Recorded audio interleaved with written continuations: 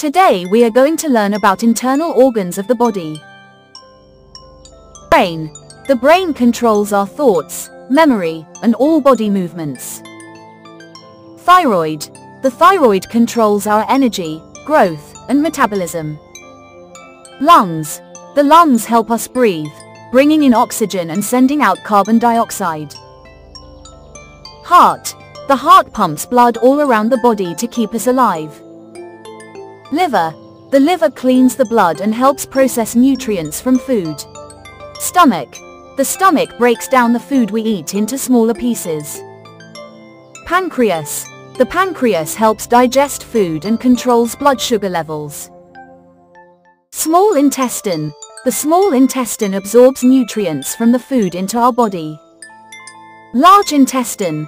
The large intestine absorbs water and forms waste to leave the body. Kidneys. The kidneys filter blood and produce urine to remove waste. The bladder is a balloon-like organ that stores urine until our body is ready to release it. If you like this video please subscribe and like for more videos thank you.